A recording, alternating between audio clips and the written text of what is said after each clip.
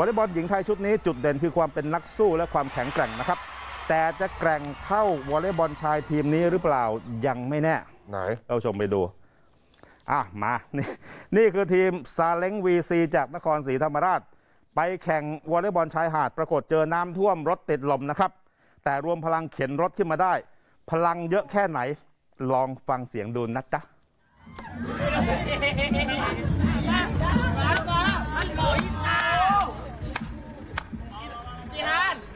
ฮัลโหลคืนนี้ค่ะ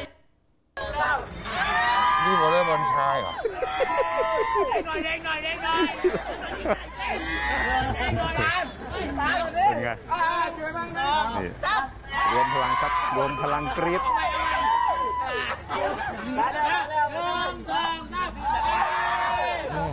เป็นไงสู้ได้ไหมน่ารักน่ารักเก่งต้องยอมรับ ตอนนี้เป็นเทรนด์ไม่ได้ จริงหลังจากแฮร์รี่เปิดปฏิบัติการนี่เป็นไอดอลเลยนะค่ะ น้องไบรท์รู้จักใช่ไหมแฮร์รี่อะรู้สึกเดี๋ยวนี้สวยนะ เมื่อวานนี้ยังโพสต์ภาพโอ้อีกมุมนึงนี่สวยนะ ใช่ค่ะ ดูมันจะเป็นการให้กำลังใจอะไรยังไงใช่ไหม ใช่ใช่ใช่หลังจากเกิดกรณีซึ่งเดี๋ยวมาไล่เรียงกันค่ะเกิดกรณี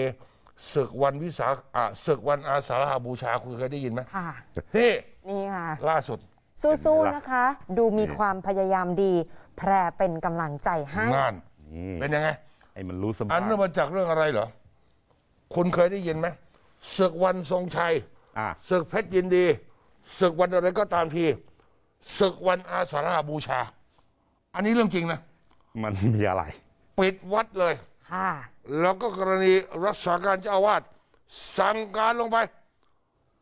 เอาพักพวกฝั่งตัวเองไปลุมกระทืบพระอีกฝั่งหนึ่งนั่น มันเป็นเรื่องจริงนะ